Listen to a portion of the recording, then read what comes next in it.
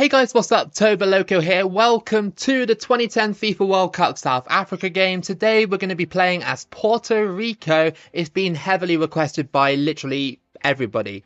like loads of people, even on the live streams that I've been recently doing, all I've been saying is please do Puerto Rico, please do Puerto Rico, please, please, please, please. It's like okay, okay, I'll do it. I'll do Puerto Rico. So we're doing them today. Um, we've replaced some of the smaller teams and kept the bigger teams, you know, just to make it a little bit fair. Let's see how far we can get with Puerto Rico.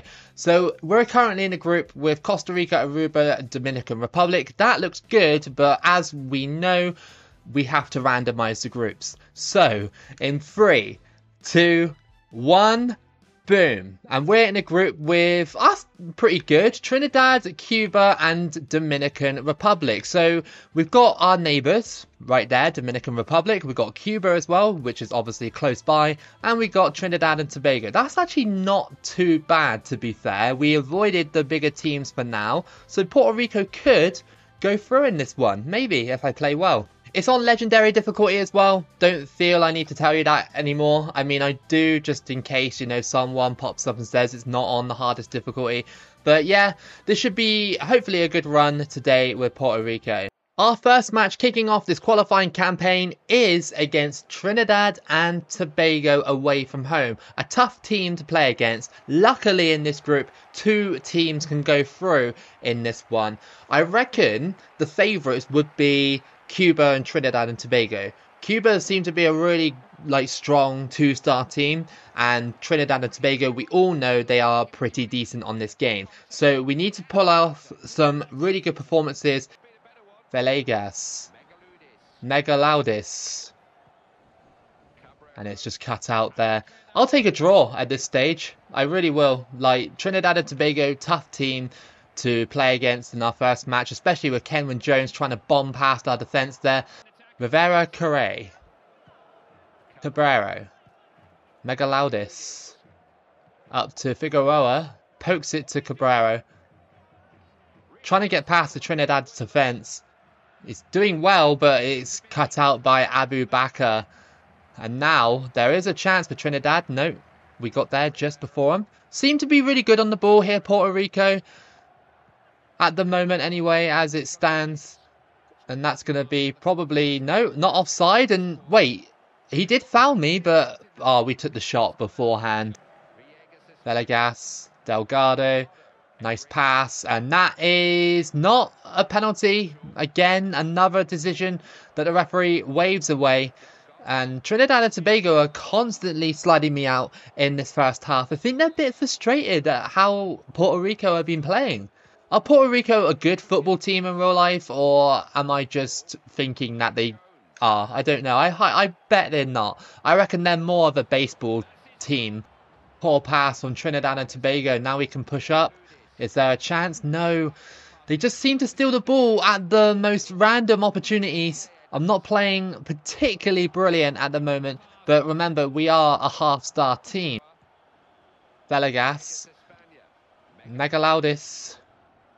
Is there a chance to cross it in? There was, and oh, if only I got to shoot first time, it might have snuck its way in, but no, goalkeeper retrieves. That's going to go out to the wing. Jones, he's got it into Scotland, and please get up. No! Oh, I told you, didn't I? I told you this would happen. 85th minute, literally at the death of the game. And that is unfortunate because that defensive effort was spectacular. But then the goalkeeper just stood there like, what are you doing? Come out for it. But no, oh, that's not going to be good for the form.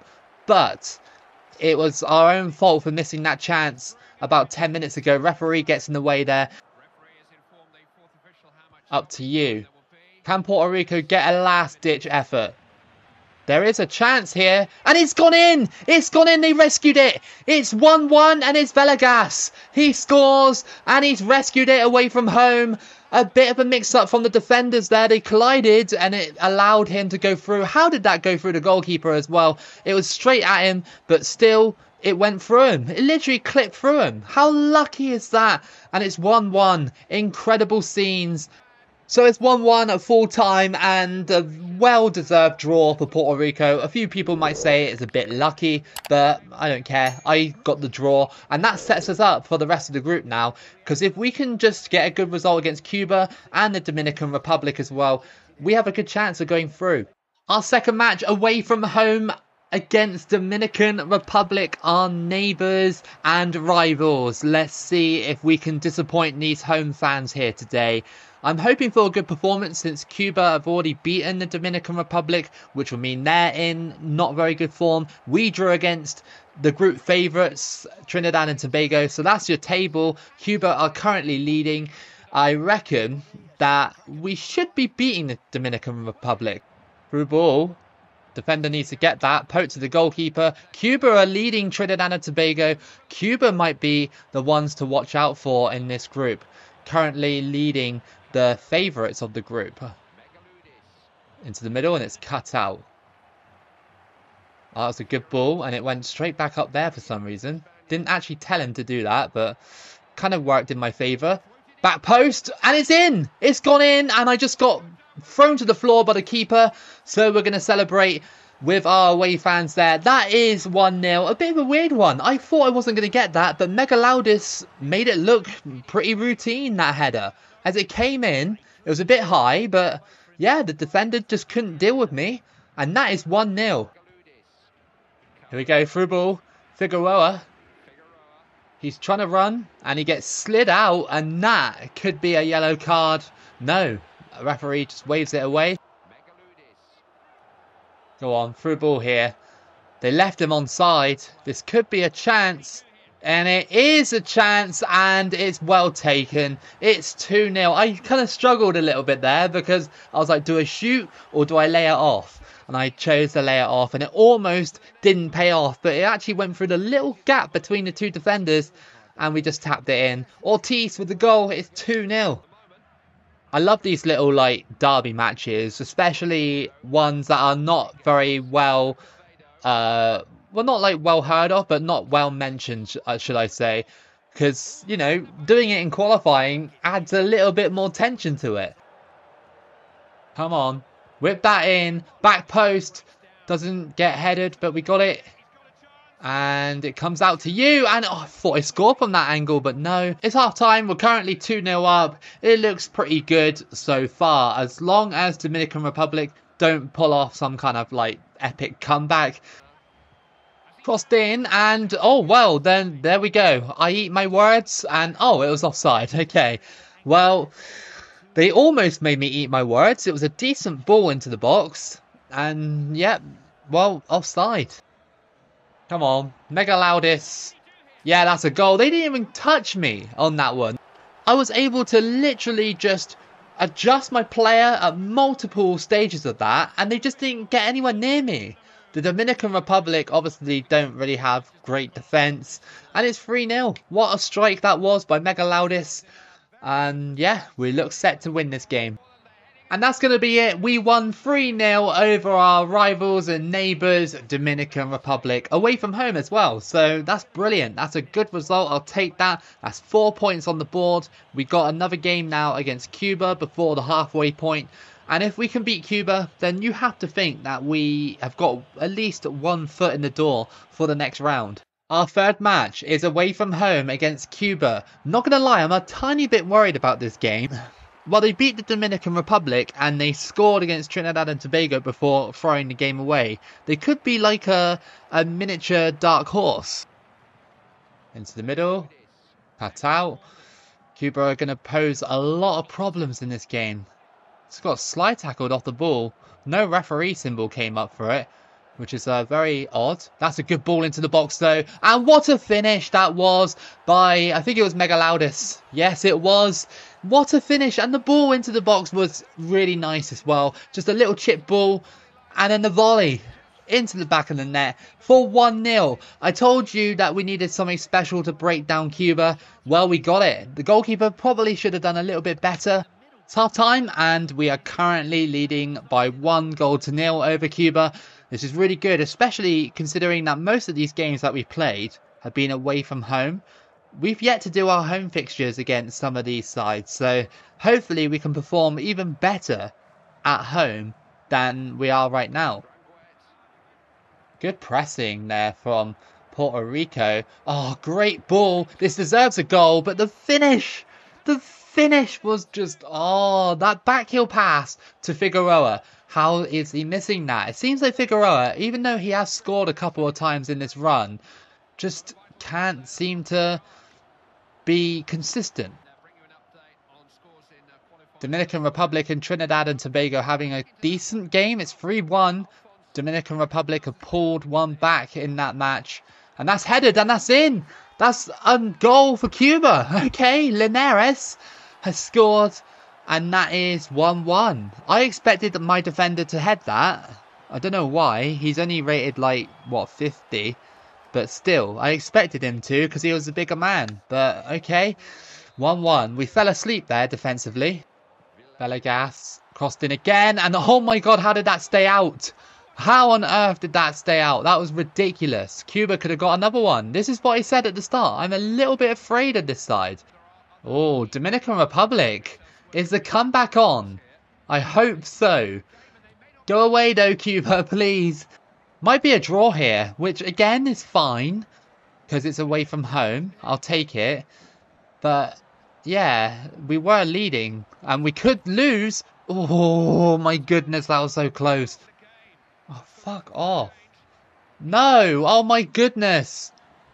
Oh, no way. Oh my goodness, the goalkeeper with a huge save at the end of the match. That was just so stupid of me to pass it like that. And look at that save. Oh, that would have been 2-1, 100%. In any other circumstance, it would have been 2-1. But luckily our goalkeeper came up with a clutch save.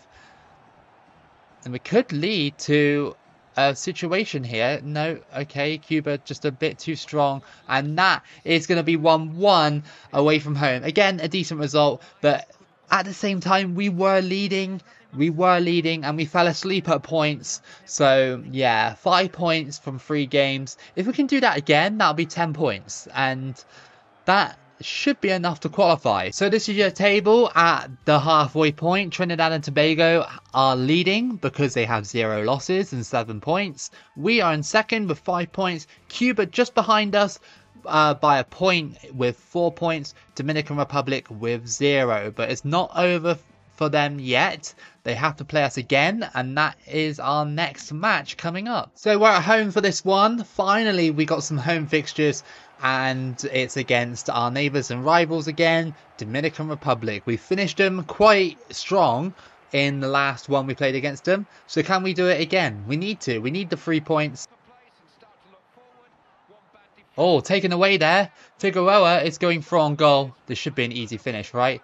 Oh my goodness. This is what I mean with Figueroa. Score some and then misses some absolute sitters. I know the goalkeeper saved it, but still. I need you to go there, and it's cut out, but it goes back to you. Oh, that was a decent sort of like kind of snapshot shot almost. And, well, goalkeeper did well to keep it out. As soon as I retrieve the ball, they snatch it away from me, and then they start doing this.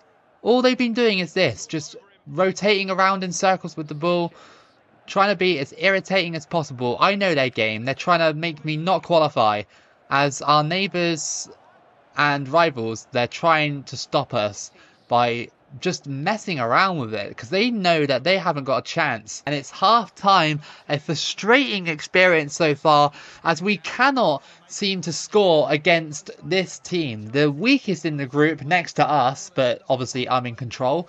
But yeah, I mean, we should have scored at least twice in that one. Can't tackle this guy, will not let me look, he's not doing anything with the possession he's got. He's just messing around with it. There we go. Caballero's got it. Come on. Go on. Yes! Nice solo run, and that is 1-0. I did think about passing it off, but nah, it's good. And Caballero has scored. Not the most interesting of games so far as we reach the hour point in time, in the game time, I should say yeah, just not being the most interesting game. But we're going through here. That was a bit weird, that sort of glitchy moment. Megaloudis, it's not two. He hits the post. Pass it off to Figueroa. Oh, over the bar. Some of the shooting really needs to be fine-tuned for the next game. I think our next game is against Cuba, and it's one that we have to win. Like, we really, really have to win it, because they're currently leading Trinidad still, which means that if Cuba win that match, it's going to make an awkward situation for the last match because we'll have Trinidad and Tobago. Cuba will have Dominican Republic. So it's set up for both of those teams to go through and for me to fail. So we won in the end 1-0. Like I said, it wasn't the best of matches. The quality of football was really dreadful, especially Puerto Rico's finishing. Oh my goodness, it was terrible. We need to fine tune it for the next match. It's vital that we pick up a win here against Cuba this time because the group is currently, uh, hopefully it will show it, but it's literally me top and Trinidad and Cuba just one point behind me. So it is, like I said in the last match, set up for me to fail. Because if we lose here and then lose against Trinidad, then it's all over. This is the standings. Look, see? So it's between three teams for the top two places with two games left. If we beat Cuba, we'll be safe. If we don't, then we're in a bit of trouble. Oh, that was a nice, kind deflection. And then slide tackle there by Cuba. Some of these slide tackles have been either insanely on point for the AI or they're just, you know, getting away with blatant fouls and the referee's not calling for them. Villegas up to Megaloudis. Villegas again, out on the wing. Into the middle. That was a good pass. And just saved there. We needed to get a shot off because there was no shots really in that first half. Well, just yet anyway. Cabrero whips it in. That's a good chance, and that's gone in. That just went in. It's a free header, and Ortiz has scored to make it 1 0. I love those type of headers when they just float into the back of the net. Love it. He found the gap, and that was a nice header. That's 1 0 against Cuba so far. What was that? But we still got the ball back to you. Go on. Oh, the looping shot. Not a good one. And as we go into halftime, we are 1 0 up over Cuba. This is really, really good so far. It's going to be a really exciting finish in this group because if we win this match, then it's all down to if Trinidad can beat us and if Cuba can beat Dominican Republic. So it's going to have a lot of twists and turns. Currently, Dominican Republic are drawing against Trinidad. Oh, Trinidad are now 2 0 up over Dominican Republic wouldn't have lasted long, to be fair, that uh, sort of stalemate between them. They had to have scored eventually. Puerto Rico have really had to squeeze this result out to try and win here against Cuba. Just pass it off the field. Like, it's been a bit of a bad game, but we won. And I think that might have helped us in our qualifying campaign. I think we're actually through. I think we are actually through. So I don't think the game, well, the last game actually really matters too much. Puerto Rico have really defended well in these last two games. Really, really proud of them, especially for being a half-star team. And getting to the next round is something to be celebrated. So we have 11 points, so that confirms our qualification to the next round of qualifying, which is brilliant for Puerto Rico. Trinidad and Tobago are in second place. Now, unless Cuba beat Dominican Republic by a massive margin, and then I beat uh, Trinidad and Tobago by an equally large margin, or even just beat them, then I would assume that Trinidad and Tobago will go through, unless Cuba do exactly what I said. Puerto Rico definitely deserved to go through in this one, the way they played and everything. It was very scrappy at times, but sometimes scrappiness is needed. Sometimes it's needed with some international teams or even club level teams. It sometimes can win you games, and Puerto Rico have used it to their advantages with picking up one nils in the last two matches. So yeah, brilliant. I hope we can do that in the next qualifying round, but it'll be a lot harder to do that against teams like Mexico and uh, Jamaica, teams like that, you know. Through ball, here comes Glen. I can't really catch him up. And he puts it wide anyway. This game, yet again, not really too many highlight moments, so yeah, that's a bit of a shame really. I can't really seem to push my way past uh, Trinidad and Tobago's defenders.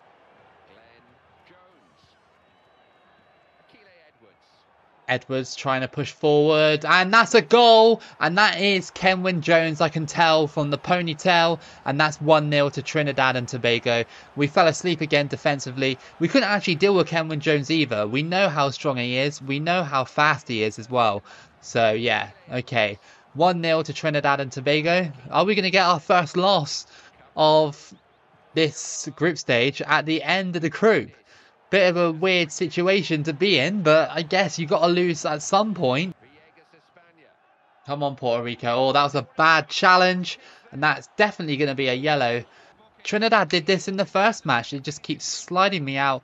It's a bit of a nuisance. Go for it. Oh, just over the bar.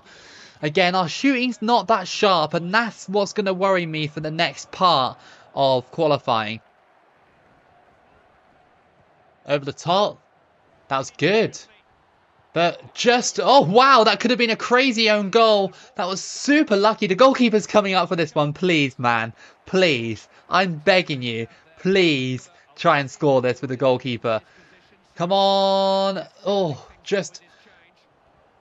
No. Oh, no, no, no, no. We need to get the ball. Oh, no. We missed it completely and Scotland's gone for it. And he misses the late chance. But that wasn't a good game. We lost at 1 0. And even though Puerto Rico battled hard in that one, I felt like there was a lack of intensity, especially in front of goal as well. It wasn't the best match in the world, and that's what worries me going into the next one. So that is your final group for the CONCACAF World Cup qualifying. And as you can see, it's extremely basic. No real surprises in there, apart from us, of course.